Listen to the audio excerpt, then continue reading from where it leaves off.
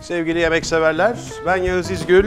Her zamanki gibi farklı değişik yemeklerle sizlerle olacağız. Ve fakat sadece kendi tariflerimi değil, yorum yaptığınız takdirde sizlerin istediği yemekleri de burada mümkün olduğu kadar yapıp paylaşmaya çalışacağım. Her hafta 3-4 tane birbirinden değişik tarifi yayına koyuyoruz. Eğer sizler de abone olursanız an be an bu tariflerden haberdar olacaksınız. Bugün patates ezmesi yapacağız. Bakalım malzemeler neler?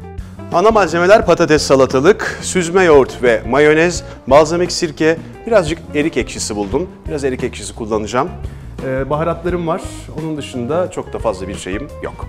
Şimdi öncelikle baddizlerden başlayalım. Şöyle bir şey yapacağım. Baddizleri haşlıyorsunuz.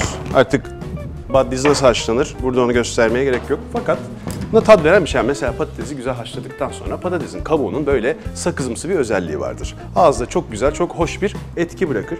O yüzden buradaki 3 patatesin bir tanesini kabuklarını tutacağım. Mesela şu battal boy olan olsun. Diğerlerinin kabuklarını soyacağım. Favori patates yemeğinizi söyleyin.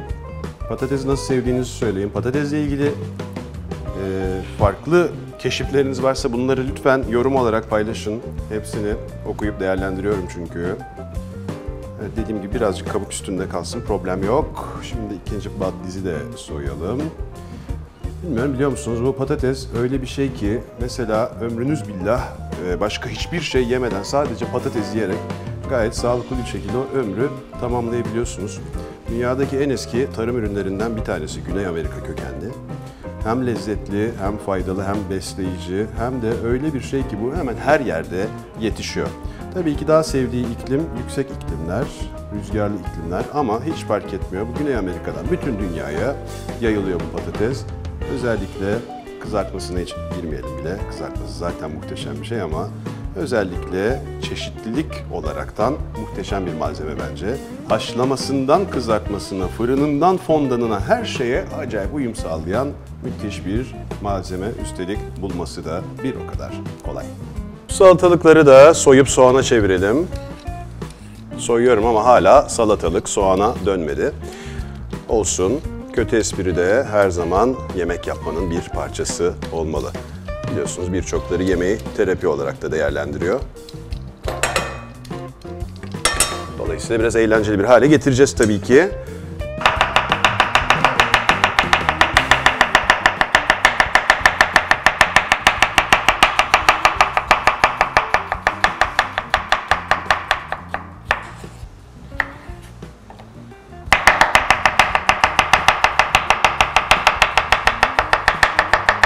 Şimdi genellikle patates ezmesi yapılırken görmüşsünüzdür. Bunu rendeleyerek yaparlar. Fakat ben rende kullanmayacağım. Önce şöyle bir elimle parçalayacağım patatesi. Zaten iyi haşlanmış bir patates. Tabii biraz soğumasını bekleyin yoksa elleriniz bayağı yanacak. Püre haline de getirmiyorsunuz. Bu şekilde bırakıyorsunuz. Çok büyük parçalar varsa arada onları tekrar parçalayın. Bunlar gibi. Sizin bir yönteminiz varsa paylaşabilirsiniz burada. Her zamanki Tresette mutfağı pratikliğiyle hemen kaşığımı alıyorum. Şimdi böyle bir 4-5 yemek kaşığı süzme yoğurt. 2 yemek kaşığı mayonez.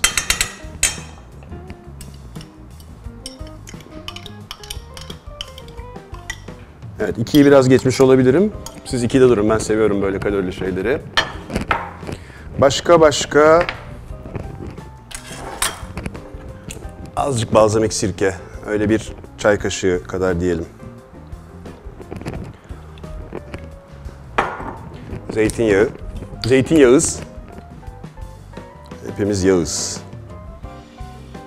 Bunu da 2-3 yemek kaşığı kadar diyelim.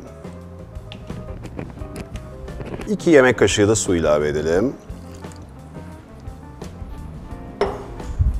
Evet şimdi burayı kuvvetlice çırpın.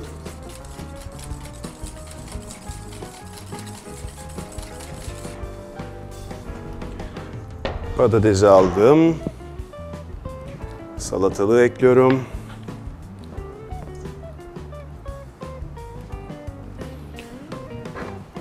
Baharatlar bu esnada tuz,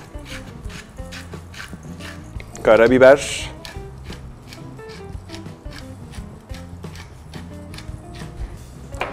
azıcık kimyon, acı sevene pul biber. Pul biber mi, bibbez mi? Cevap bekliyorum. Bence biber.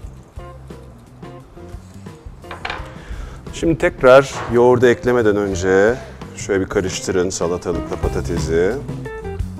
Bakın hep elle gidiyorum. Harika bir sos var burada, yoğurt ağırlıklı.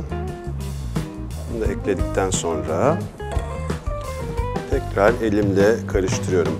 Bütün hikaye patatesi çok püre haline getirmemek. Şık bir sunum yapacağım. Şöyle bir tabağa yayınız patates ezmesini. Madem yuvarlak tabak, ben de yuvarlatacağım.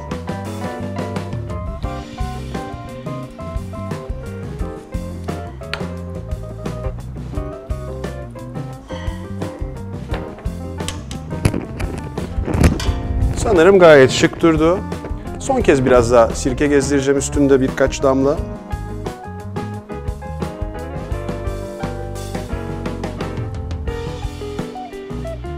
Azıcık erik ekşisiyle lezzetlendireceğim.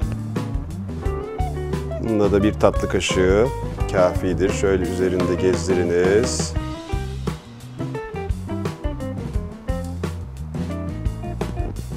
İşlem tamam. Evet dostlar, dediğim gibi lütfen mümkün olduğu kadar videonun altında yorumlarınızı yapın. Bana istediğiniz yemekleri söyleyin. Söz veriyorum mümkün olduğu kadar elimden geldiğince hepsini kendi yorumumu katarak yapmaya özen göstereceğim, yapmaya çalışacağım. Ee, Bunun dışında haftanın 3-4 günü zaten farklı tariflerle, yeni tariflerle YouTube ekranlarınızdayız. Abone olursanız eğer an beyan bu tariflerden haberdar olursunuz. Bence çok keyifli gidiyoruz. Görüşmek üzere.